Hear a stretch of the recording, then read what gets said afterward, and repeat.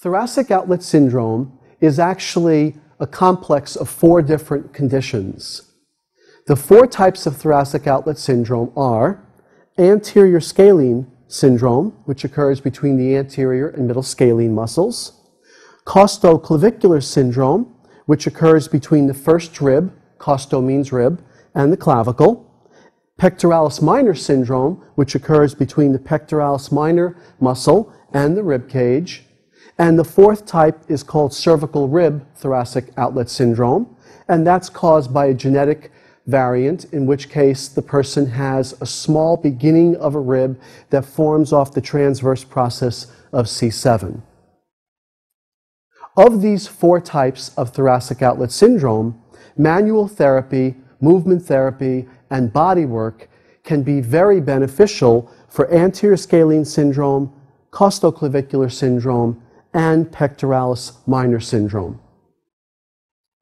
In all four cases, the underlying concept of thoracic outlet syndrome is that there is compression of neurovascular contents. The brachial plexus of nerves runs between the anterior and middle scalenes, between the clavicle and first rib, and between the pectoralis minor and rib cage. The subclavian and then axillary artery, a continuation of the subclavian artery, runs between the anterior and middle scalenes, the clavicle and first rib, and the pec minor and rib cage. And the subclavian vein, axillary vein, runs between the clavicle and first rib and the pectoralis minor and the rib cage.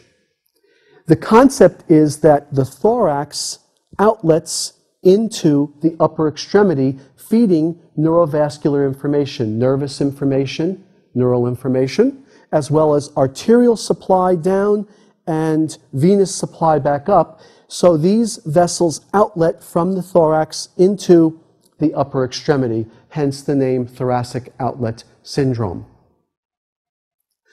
The causes for these various types anterior scalene syndrome is caused by a tight anterior and middle scalene muscle.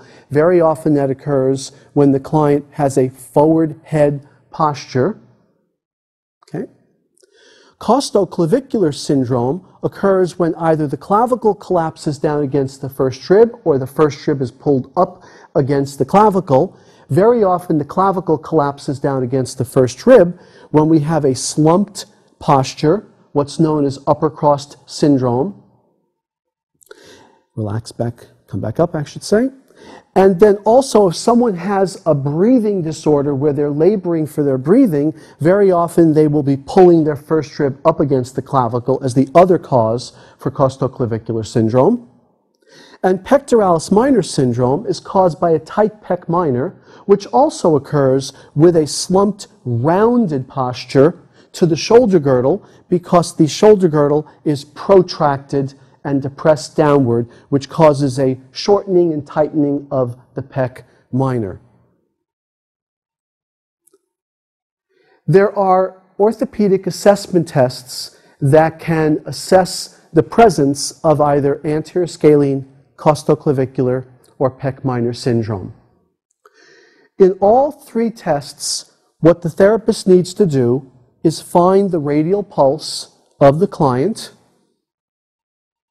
feel for the radial pulse, and what I'm going to be looking for in each of these tests is whether or not the strength, not the rate, the pulse, but the strength of the radial pulse diminishes. If it is, this is an indication that there is compression of the subclavian artery, axillary artery, feeding blood down toward the radial artery. If I find that diminished strength of the pulse, it's an indication that there might also be compression on the brachial plexus of nerves as they travel down through, which might be the reason why someone is having neural symptoms, perhaps paresthesia, altered sensation in the upper extremity, or perhaps weakness of some musculature that's innervated by the motor neurons of these brachial plexus nerves. The orthopedic assessment test for anterior scalene syndrome is called Adson's test. I find the pulse, the radial pulse, Now, what I'd like you to do, Catherine, is I'd like you to rotate. Perfect. Rotate your head and neck toward me. Stay rotated toward me, but drop your head and neck back onto your left shoulder. This maximally stretches the right anterior scalene and it stretches the middle scalene on the right side. Pulling them taut, if they were already tight, would further cause possible compression on the neurovascular structures running between them. You can relax and come out of that position. If I felt a diminished pulse, or if the client reported any symptoms going down into the upper extremity, that would tell me that it's a positive Adson's test, and therefore there's the presence of anterior scalene syndrome version of thoracic outlet syndrome. The next test for costoclavicular syndrome is called Eden's test. I again find the radial pulse and feel for its strength. I would now like you to stick your chest out and your shoulder girdle back as if you're standing in front of a commanding officer. This pushes the first rib anteriorly and it pulls the clavicle back posteriorly and it diminishes the costoclavicular space. If I feel a diminished strength of pulse, or if the client reports any neural symptoms into this side upper extremity, that's a positive Eden's test, which shows the presence of costoclavicular syndrome. You can go into a more relaxed posture. For pectoralis minor syndrome, the orthopedic assessment test is Wright's test. There are two versions of Wright's test. In each case, again, I find the strength of the radial pulse. In the first version, I'm going to move her arm back behind her body.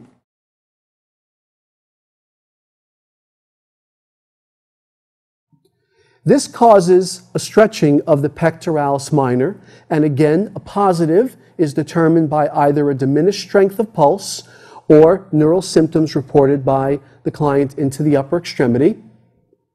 The other version for Wright's, again finding the strength of the radial pulse, I then bring her up into this position, which tethers the neurovascular vessels around the pec minor. And again, I feel for a diminished strength of the radial pulse or the client reporting neural symptoms into the upper extremity. If the client were to have a cervical rib, very often that will show positive also with Adson's test that was done for the anterior scalene syndrome version. But definitive assessment or diagnosis for a cervical rib would be with a radiograph, an x-ray.